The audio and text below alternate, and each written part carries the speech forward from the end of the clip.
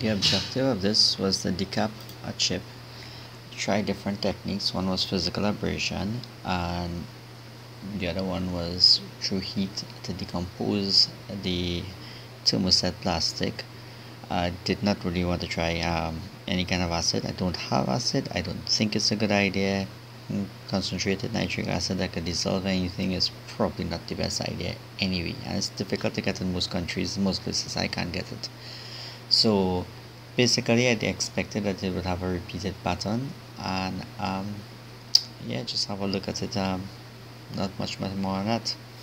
Stick of DDR3 memory um, what is it PC 221333 either way it's dead it doesn't work has some defective contacts here it just doesn't come on motherboard doesn't come on with it so I'm gonna try to pull off one of these BGA chips um, I'm not sure if you can see the side of it it is possible to see those balls anyway I'm gonna pull out some of those one of these BGA chips have a look at it just to see what it's well, how much contacts it has, a couple of things. I don't know how much layers this board has. Obviously, it's quite a few.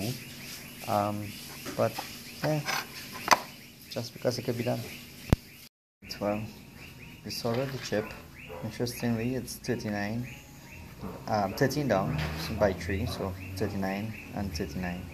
78 pins. This is really, really thin. I should probably make it, but it looks like about I don't know 1.2 or 0.3 millimeters um, with the case in so that's a really thin piece of silicone inside here I'm not sure if it is possible to physical abrasion to see inside um, will be repeated cells but it might be useful to try it um, I definitely don't have concentrated nitric acid or any of these things so and I'm not going to even try that that's just not a good idea so I'll try a physical abrasion maybe I'll get some views of what's inside.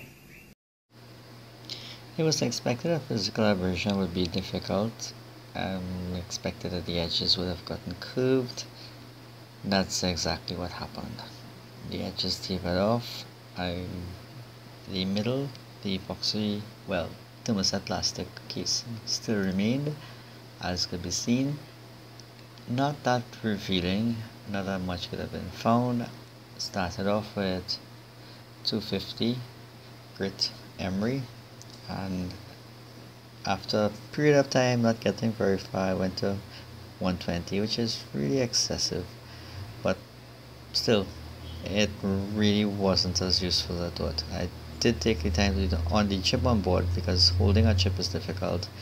Chip on board well obviously it's already held in place and a flat uh, surface was used in grinding but inevitably you push at an angle. If you look at the top right hand corner of the chip it looks like I broke the silicon too.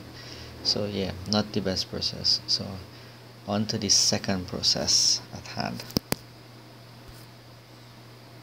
This is the same chip um, well basically burnt.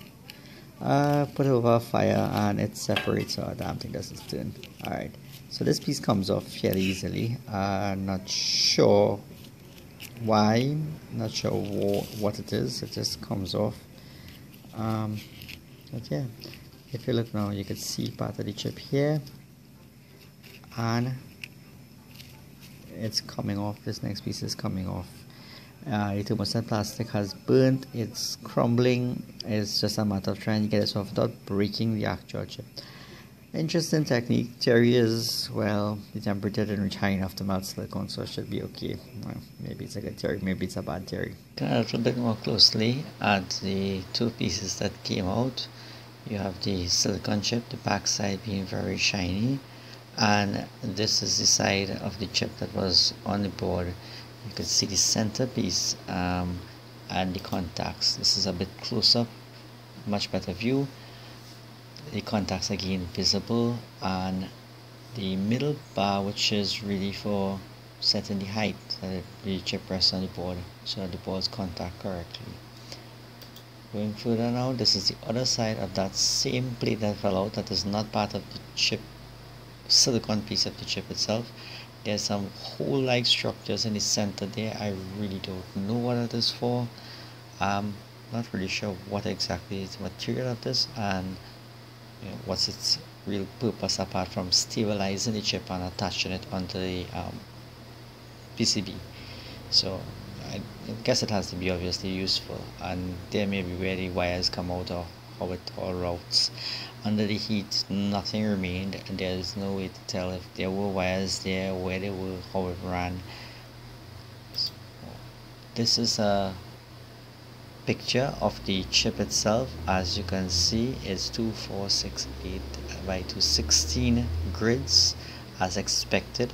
They're repeated patterns um, so 16 grids at 500 um, it's 8 chips at 4 gigabytes. So 500 a chip um, and 16 grids in there. So me see what the maths of that is. Uh, I can't work it off the top of my head but anyway. Um, this is now a close-up of one of them. As you can see it wasn't really cleaned 100% fully there's still some thermoset uh, plastic there that's stiff and difficult to remove but it's pretty good. And I mean I don't have higher magnification than this anyway so I'm not going to see much more than this.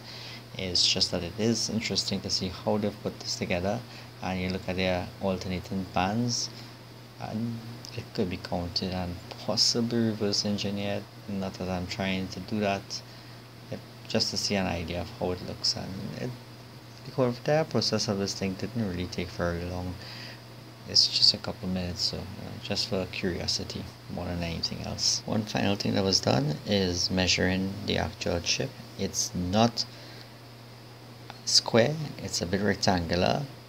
Dimensions were 0.9 centimeters 9 millimeters by 8 millimeters by 0.2 millimeters thick. It's pretty thin around 8 thou really quite quite a thin piece of um, silicone. Maybe it just doesn't require that many layers and uh, that gets done in a very small footprint. Well, obviously it works